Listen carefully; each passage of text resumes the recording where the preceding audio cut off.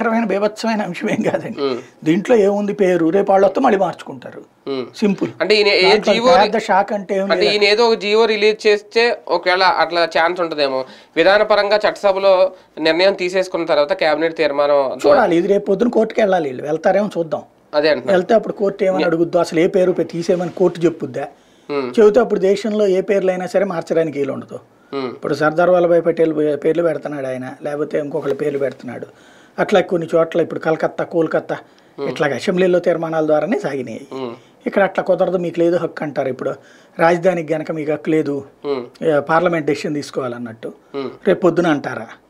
చూద్దాం అది కూడా. అంటే ఎవరి అధికారులు ఉన్నప్పుడు వాళ్ళు చేస్తే వాళ్ళ పేర్లు పెట్టుకుంటా ఉంటారు. ఇప్పుడు ఎయిర్పోర్ట్లకి పేరు రాజీవ్ గాంధీ టెర్మినల్ అని ఇలా. రేపు పొద్దున్న ఒకవేళ అటువంటిది ఏమైనా జరిగితే ఎవరి ప్రభుత్వం ఇష్టం అంటే ఎవరు వచ్చిన తర్వాత వాళ్ళ పేర్లు మార్చేసుకోవచ్చు కదా అన్ని? అంతే కదా. అంటే ఏ- ప్రభుత్వం వచ్చిన తర్వాత వాళ్ళ పేర్లు పెట్టేసుకోవచ్చు కదా? జాతీయ స్థాయి వాటిట్లలో అలాంటి తిక్క పనులు చేయట్లా.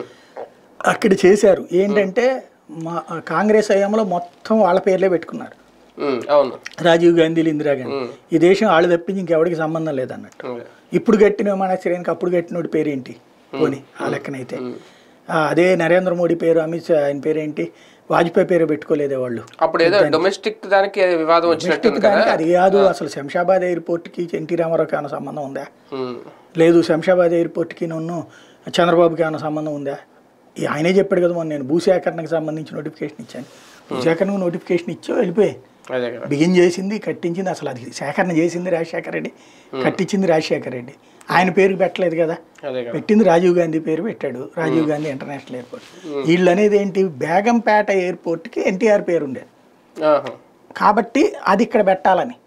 దానికి వీళ్ళు కూడా ఏం చేశారు? టెర్మినల్కి డొమెస్టిక్ టెర్మినల్కి ఎన్టీఆర్ పేరే ఉంచారు.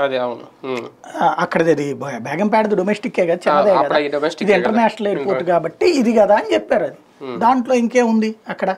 ఎన్టీఆర్ పేరు తీసేయలేదు కదా అక్కడ? అటు మెయిన్ దానికి పెట్టాలంటారు. ఉమ్. ఎక్కడ అసలు లాజిక్ అందులో? అదే కదా. బేసిక్